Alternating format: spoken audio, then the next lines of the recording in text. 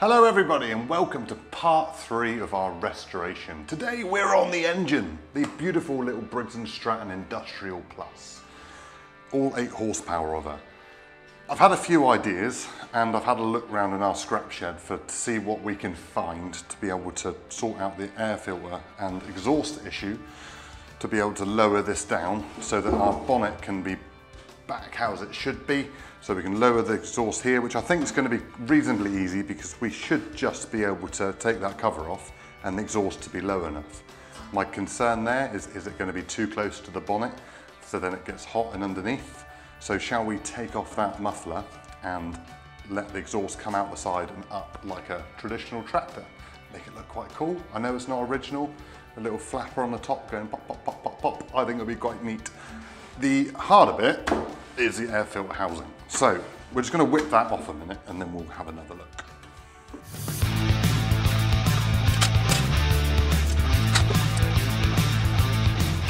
So there we have it. We have our nice little carb there. Biggest issue we've got is the choke lever obviously works here. I've looked around to see if we've got a different butterfly that we can work into here to have a different one so we can put on the cable onto there instead. We'll make it work. We're good enough for that. It will be fine. But I think we're going to have to cut this up to be able to lower that down. The way we could do that is obviously replace the air filter, but that clips in here on the tabs on the side. Nice thing about it, the tabs are all the same spacing. So we could lower that down one tab to there, which then putting that back on, brings that level down to the same height as the exhaust. So if that is the same height as the exhaust, then our bonnet's gonna close. Issues? Course there's some issues. We've got a gap in there. We can fill that in with some, we can build that up and put, fill it in with silicon around the outside so the air filter still gets a good seal. Last thing we want is holes where there should be an air filter. And also at the bottom. So that'll be the case, we'll put a panel over here and build that in. So I'm gonna do that off camera and we're gonna build that so that we can make that work. We'll then cut the top of this off all the way around there. So we'll lose the top of that but that will bring that level down so that it'll all fit in under the bonnet. The flap can be closed and welded and we should hopefully work out a way to be able to make all that go together. But I'm going to do that off camera as you don't want to watch me fiddling around with that, do you? So I'm going to do that. Okay, so that's one job I've got to do. Easy, easy, Shh, stay there. Right, the other one, right, I'm going to whip that exhaust cover off a second, just so we can have a look at that. Here we have got a little tiny six mil bolt. I don't have a six mil spanner. Gonna go get one. Adjustable will do. So, I have glasses. I can't see, I'm blind as a bat. You're lucky I can even do this. By the way, love Milwaukee stuff. Probably seen all our power stuff is Milwaukee drills, grinders. It's all Milwaukee, love it. Don't worry, we know you, there's probably some Makita fans out there and DeWalt fans and even probably some Ryobi fans. But anyway, doesn't matter. We like Milwaukee, let us know what you like. Why is it on American made products, every single nut and bolt is a different size? You get Imperial, you get metric, you get in between, you get everything. So down here, right, we've got a six mil bolt. Up here, you've got a 10 mil bolt, 3 8 could have been, whatever I just put in worked. And then round here, you've got another one. Find it. It's a half inch. What a surprise. Now I've lost my half inch socket. This isn't going great. Find it. Found one. Hmm. That's quarter inch, not 3 eighths. So we're just gonna find a 13 mil. So we have got that down. See, that's down to the right level. Engine, the bonnet, engine, bonnet. Bonnet will fit over that and the flap will be able to be welded down and close. We've just got to work out that way of keeping that air filter lower. Quite confident it'll be fine. And everything like that. We know the engine runs like a dream, so we're now just gonna quickly strip off all the other bits, put them into our piles that need to be in for um, shot blasting and powder coating, go from there. So I'm gonna whiz them off.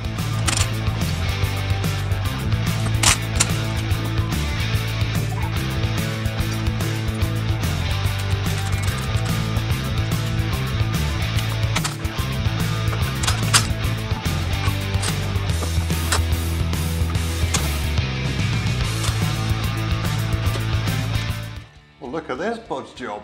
Look at this, eh? So like I said before, they've wired this switch in so they could use the one on the dash. Fine. But for some reason, what a farmer job that is, isn't it? Proper farmer job.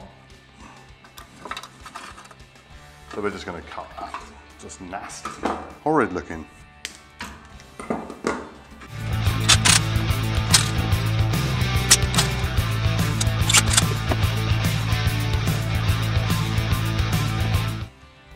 Taken the majority of it off.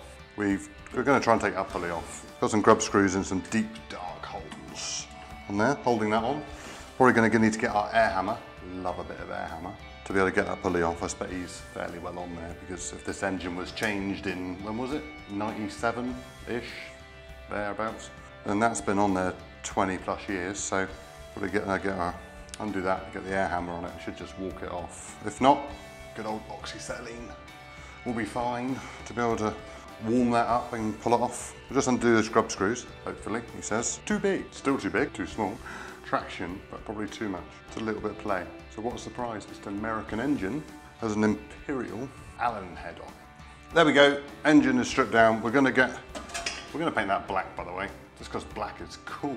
Absolutely winning color. All these little bits are gonna be all these extra little bits are all going to be black. Even the fuel tank bracket is going to be black. That can go, that's scrap. And um, yeah, just clean up the alloy stuff. And then we're just going to clean up the engine the best we can. We don't want to strip it apart, it works perfectly. As much as I'd love to do an engine rebuild, or at least a valve job. Love a valve job. But we don't need to. It's all good. We've seen it. It works, it runs, it starts, it fires, it smokes, it pokes, it does what we need it to do. So we're going to leave that as it is, bar cleaning it all up nicely. Also, off camera, between part two and part three, so you could call it 2.5 off camera, I've cleaned up the gearbox with a wire brush and wire wheel.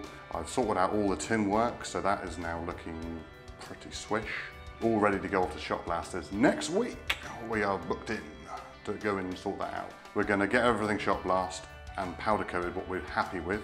We're then going to bring the, one thing we're not going to powder coat yet is the bonnet. The bonnet is not going to get powder coated until we're going to bring the bonnet back, all shot blasted, fit it on, make sure it's right, weld it up, make sure it all fits. And then we're going to take it back and they're going to then powder coat it then in the beautiful gold that we keep mentioning and that will sort that out. But I don't want to get it all powder coated and then find out, actually James, you've got to cut this bit or weld this bit or make an adjustment there for it to fit properly. I think it's going to be best to do it that way around, although it's a little bit more travelling, but it'll look good on camera. And that's what it's all about.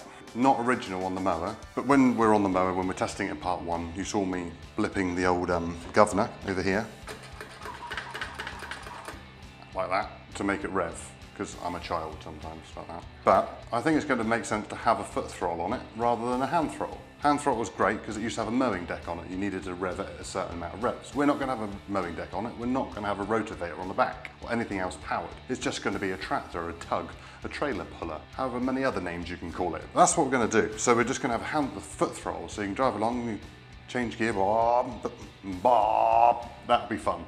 Whereas if you had a hand throttle, it's just all revs and no fun. So cool, that's what we're gonna do. There we have the engine in bits as far as we need to go. We're gonna clean it all up, sort it all out, shot blast it, paint it, sticker it, do what we've got to do. And right, so that's the engine sort of done. Let's move on to something else.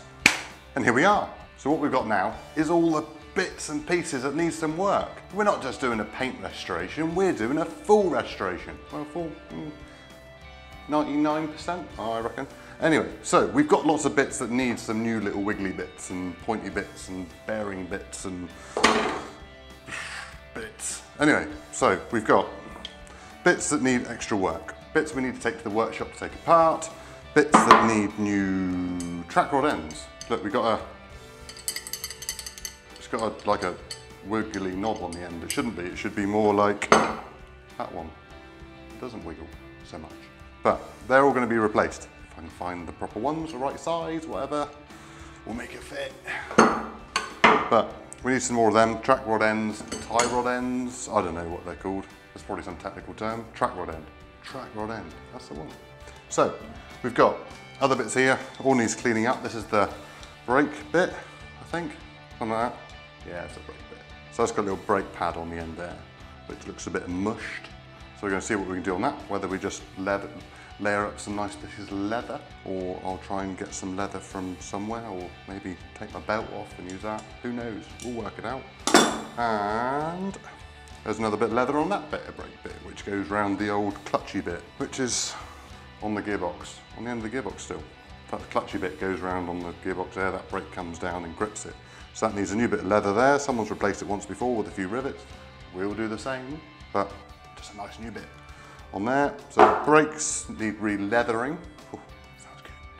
And all of the linkages, this is the mower linkage. We're still gonna put it back underneath in one form or another underneath. And then we've got the old Dubrimer What's It, which lifts it up. We're still gonna put that back on because I think it looks quite cool. Never know, you might need it one day.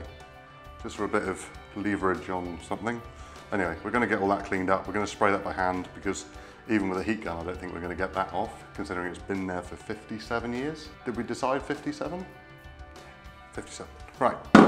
The main pulley on the main drive shaft is you ready for the bearing movement? Ooh, hoo, hoo. movie, movie.